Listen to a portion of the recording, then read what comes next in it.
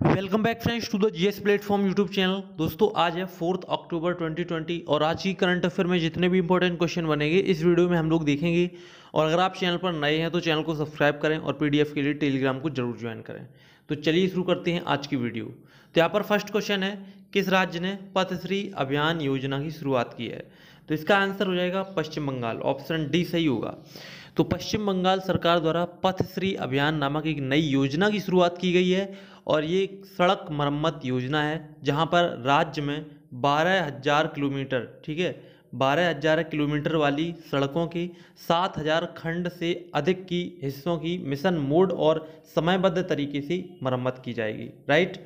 और पश्चिम बंगाल सरकार ने इन सड़कों की एक सूची तैयार की है, जिसे नई योजना के तहत मरम्मत किया जाएगा, जहाँ राज्य के लोग सरकार की दीदी के बोलो पहल के माध्यम से मुख्यमंत्री तक पहुँच सकेंगे, ठीक है? तो बात करें पश्चिम बंगाल की तो यहाँ पर जो मुख्यमंत्री हैं, वो हैं ममता बनर्जी, राज्यपाल हैं Jagdeep Dhankhar right next question है क्वेश्चन नंबर सेकंड किस राज्य के मुख्यमंत्री ने ऑनलाइन पेंशन सबमिशन और ट्रैकिंग पोर्टल कृतज्ञता का शुभारंभ किया है?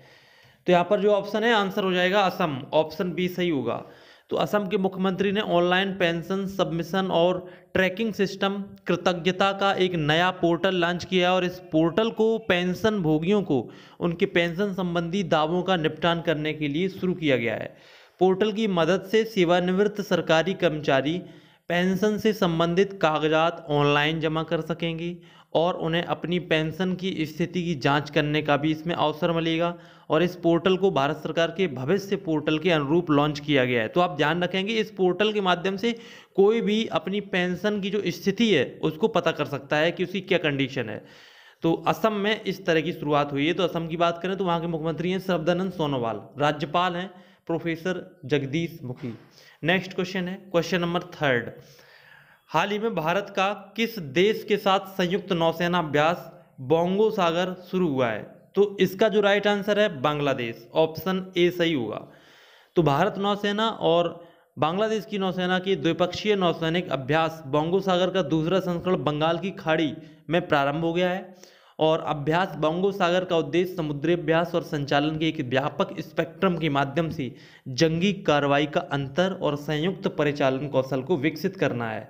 बोंगो सागर नौसैनिक अभ्यास के सत्र में दोनों नौसेनाओं के पोत इस दौरान सतह युद्ध अभ्यास और नाविक कला और हेलीकॉप्टर संचालन का अभ्यास करेंगी।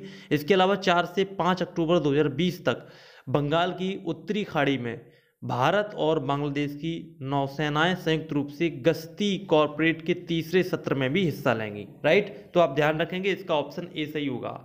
नेक्स्ट क्वेश्चन है क्वेश्चन नंबर फोर भारतीय तटरक्षक पोत कारना कलाता बरुआ का, को कहाँ पर कमीशन किया गया है? कहाँ पर तैनात किया गया है? तो इसका आंसर हो जाएगा कलकत्ता, यानी कि कोलकाता। ऑप्शन आपका बी सही हो जाएगा राइट तो भारतीय तटरक्षक पोत करना कलाता बरुआ की तैनाती कोलकाता में की गई है और ये Garden Reach ship publish and Engineering Limited द्वारा निर्मित फास्ट पेट्रोल वेसल का पांचवा और अंतिम पूत है और जो कि पतवार की संशोधित रूप में भी चल सकता है, यानी कि इसको पतवार के माध्यम से भी चलाया जा सकता है। और ये चौंतीस नॉट्स की गति से चल सकता है और इन पोतों की जीएसआई द्वारा भारतीय नौसेनाओं को सौंपा गया है। और भारतीय तटरक्षक पोत वैसल कर्नाक्लाता बरुआ का नाम एक युवा स्वतंत्रता सेनानी के नाम पर रखा गया था, जिन्हें भारत छोड़ो आंदोलन के दौरान असम में गोली मार दी गई थी। तो उनके नाम पर इसका नाम रखा गया है राइट नेक्स्ट क्वेश्चन है क्वेश्चन नंबर फाइव हाल ही में किस कंपनी ने R T P C R corona kit विकसित की है तो इसका आंसर होगा रिलायंस ऑप्शन ए सही होगा। तो रिलायंस लाइफ साइंसेज ने R T P C R kit विकसित की है जो लगभग दो घंटे में, ध्यान रखेंगे, मात्र दो घंटे में कोविड 19 संक्रमण के निदान का दावा करती है। वर्तमान में एस कोविड 19 से न्यूक्लिक एसिड का पता लगाने के लिए वास्तविक समय, research transcription, polymerase chain reaction PTCR परीक्षण एक निदान देने में 24 घंटे का समय लेती है, लेकिन रिलायंस की ये जो किट है वो दो घंटे में ही किट का रिज़ल्ट देने का दावा करता है और रिलायंस लाइफ साइंसेज नाम की इस किट को आर ग्रीन किट नाम दिया गया है आर ग्रीन किट ठीक है? ध्यान रखेंगे। नेक्स्ट क्वेश्चन है क्वेश्चन नंबर सिक्स हाल ही में केंद्र सरकार के नए श्रम सचिव कौन बने? तो इसका आंसर होगा अपूर्वा चंद्रा ऑप्शन ए सही होगा। तो अपूर्वा चंद्रा केंद्र सरकार की नई श्रम सचिव हैं और महाराष्ट्र कैडर के 1988 बैच की भारतीय प्रशासनिक सेवा आईएएस अधिकारी चंद्रा ने उत्तरार्ध की सेवानिवृत्ति के बाद हीरा लाल समरिया को नए श्रम सचिव के रूप में प्रतिस्थापित किया है। यानी कि हीरालाल समरिया इससे पहले श्रम सचिव थे और अब हैं अपूर्वा चंद्रा। ठीक है? और नए श्रम सचिव के रूप में शामिल होने से पहले वो रक्षा मंत्रालय में विशेष महानिदेशक रक्षा अधिग्रहण के रूप में थे। ठीक है? तो ये आपका सिक्स क्वेश्चन कंप्लीट हुआ। नेक्स्ट क्वेश्चन देखते हैं। क्वेश्चन नंबर सेवन हाल ही में किस सेंट्रल जेल ने रेडियो प्रजन का शुभारंभ किया है? तो इसका आंसर होगा Sabarmati central jail option C सही होगा। तो साबरमती में, जो कि अहमदाबाद में है तो साबरमती सेंट्रल जेल ने राष्ट्रपिता की एक जयंती के अवसर पर रेडियो प्रजन का शुभारंभ किया है। रेडियो प्रजन परिसर के भीतर कैदियों को शैक्षिक कानूनी और स्वास्थ्य संबंधी विवरण प्रदान किया जाएगा।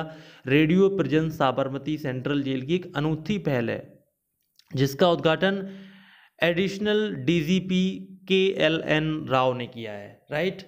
नेक्स्ट क्वेश्चन है, क्वेश्चन नंबर एट। हाल ही में विश्व संयम दिवस कब मनाया गया था? तो इसका आंसर होगा तीन अक्टूबर, ऑप्शन यहाँ पर डी सही होगा। तो विश्व संयम दिवस प्रतिवर्ष तीन अक्टूबर को मनाया जाता है। टेम्परेंस मूवमेंट संयुक्त राज्य अमेरिका में मादक पेय पदार्थों के उपभोग और उत्पाद को सीमित करने या रोकने के लिए 19वीं और 20वीं शताब्दी के दौरान एक संगठित प्रयास था और तब से ये शराब के कारण होने वाली सामाजिक बुराइयों की प्रतिक्रिया के रूप में मनाया जाता है, ठीक है? कि नशा, शराब इस तरह की चीज़ों को यूज़ करने में संयम बरतें तो उसके उपलक्ष्य में ये दिवस मनाया जाता है, ठीक है? नेक्स्ट क्वेश्चन है क्वेश्चन नंबर नाइन हाल ही में एक लाख कोरोना मौतों को पार करने वाला भारत विश्व में किस क्रम का देश बना है? तो इसका जो राइट आंसर है, तीसरा ऑप्शन सी सही होगा। तो 2 अक्टूबर 2020 को भारत कोविड 19 के कारण एक लाख मौतों को पार करने वाला विश्व का तीसरा देश बन गया है। भारत अभी तक कुल कोविड 19 संबंधित मृत्यु दर के मामले में अमेरिका और ब्राज़ील से पीछे है, क्योंकि अमेरिका में दो लाख से अधिक मौतें हो चुकी हैं, जबकि ब्राज़ील में एक लाख चवालीस हज़ार लोगों की मृत्यु हो चुकी है और तीसरे नंबर पर भारत ने अभी हाल ही में एक लाख का आंकड़ा पार किया है। वैश्विक मौतों में भारत की जो हिस्सेदारी है, वो एक अक्टूबर को सात दशमलव छः प्रतिशत से बढ़कर नौ दशमलव छः प्रतिशत हो गई है, ठीक है? तो ये आपका नाइन्थ क्वेश्चन कंप्लीट हुआ। नेक्स्ट क्वेश्चन है क्वेश्चन नंबर टेन हाल ही में इंडिया टुडे हेल्थ गिरी पुरस्कार किस राज्य को प्रदान किया गया है? तो इसका जो राइट आंसर होगा, केरल ऑप्शन ए सही होगा, ठीक है? तो कोविड नाइन्टीन का मुकाबला करने वाले सर्वश्रेष्ठ राज्य के लिए केरल को इंडिया टुडे का पुरस्कार मिला है।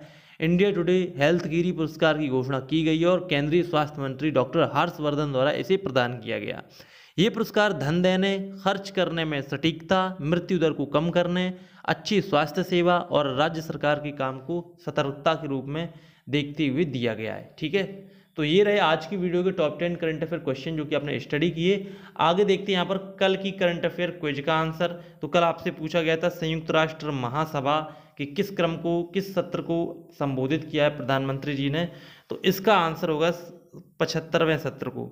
तो कल मिस्टेक ये हुई थी कि पचहत्तर जो सेवेंटी फाइव ऑप्शन है वो ऑप्शन में ही नहीं दिया गया था। तो उसके लिए वेरी वेरी सॉरी आज यहाँ पर आपका सही आंसर दिया गया है कि पचहत्तरवें सत्र को संबोधित किया है। और जिन स्टूडेंट ने इसका सही आंसर दिया है, उन्होंने बताया है कि ऑप्शन यहाँ पर सही नहीं दिया गया है, इसका राइट आंसर सेवेंटी फाइव होगा। तो उनकी तैयारी काफ़ी अच्छी चल रही है। आगे देखते हैं यहाँ पर आज कल की जीएस क्वेज का उत्तर। तो जीएस क्वेज का आंसर होगा नीलगिरी पर्वत। टोडा जनजाति कहाँ निवास करती है? नीलगिरी पर्वत। अब देखते हैं आज की क्वेज तो आज की क्वेज इंपॉर्टेंट है, बहुत ही इंपॉर्टेंट है। ट्राई के नए अध्यक्ष कौन बने हैं? Telecom Regulatory Authority of India इसके नए अध्यक्ष कौन बने थे? चार ऑप्शन आपके सामने दिए गए हैं। इसका आंसर कमेंट बॉक्स में दीजिए। और दूसरा क्वेश्चन आपका आज बहुत ही डिफरेंट है। यानी कि इस क्वेश्चन में कुछ डिटेल में आपसे पूछा गया है। पीसीएस लेवल का क्वेश्चन है क्योंकि पीसीएस 2019 में इस सवाल को पूछा गया है। तो इसका आंसर आप कमेंट बॉक्स में बताइए। सबसे पहले क्वेश्चन को पढ़िए। प्रश्न है, भारतीय पांचांग के संबंध में कौन सा या कौन सी कथन सही है? आपको ये बताना है कि कथन कौन सा सही है या नहीं है। तो दो कथन दिए गए हैं। पहला यहाँ पर कथन है कि भारतीय पांचांग, भारतीय राष्ट्रीय पांचांग विक्रम संवत पर आधारित है। ये पहला कथन है। दूसरा कथन ये है, यानी कि सेकंड स्टेटमेंट है, राष्ट्रीय पंचांग 26 जनवरी 1950 को अपनाया गया था। तो अगर आपको लगता है कि ये दोनों कथन सही है तो ऑप्शन सी लगा दीजिए। अगर आपको लगता है केवल एक ही कथन सही है, दूसरा गलत है तो ऑप्शन ए लगा दीजिए।